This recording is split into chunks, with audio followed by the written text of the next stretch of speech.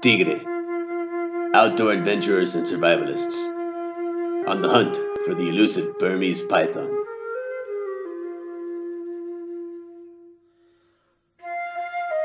Operating on the fringes of the earth, these brave individuals trek day and night looking for the invasive snake in hopes of finding a nest and dispatching the serpent at its source.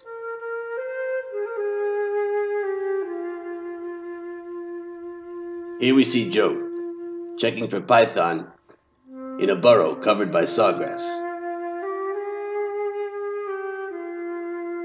Here's Hank, doing some road running along the L67 canal.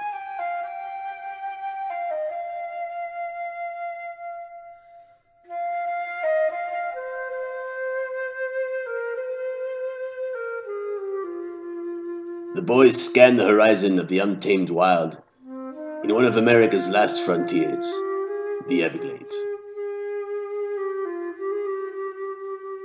Over 700 square miles of feral terrain teeming with species yet to be discovered.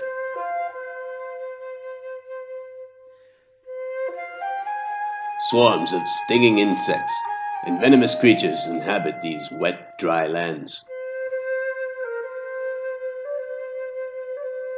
And these gentlemen will continue their search in hopes of one day finding their behemoth serpent.